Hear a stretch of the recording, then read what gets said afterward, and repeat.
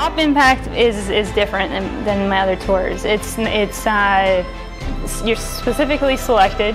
Uh, this team is the female engagement team for Canada. It's a small team to go and uh, assist, and mentor, and train the Jordanian female engagement team, which is a platoon of about 30 females who have been selected to be integrated into the Jordanian Army, which has been predominantly male. So this platoon is a quick uh, reaction force, special, special operations. So they are meant to be totally integrated with their male counterparts. I, I had a great team that I went over with and um, we taught everything from basic soldier skills to first aid to house clearing.